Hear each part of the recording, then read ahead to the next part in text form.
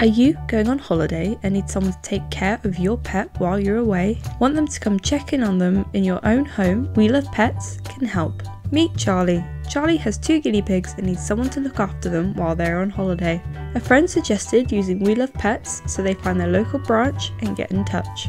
After a chat, they get booked in for a meet and greet. The branch owner comes round to meet their pet and discuss further with Charlie what they can provide and discuss any of their pet's individual needs. Charlie leaves for holiday knowing their pet is going to have one of our fully trained professional sitters come in to check in on them multiple times a day, feed them, give them love and attention, and administer any medication that may be needed as well as take care of the house, bringing in post, watering plants, opening closing curtains, whatever they may need. Charlie had a stress free holiday knowing their pets were in good hands and could stay in the comfort of their own home.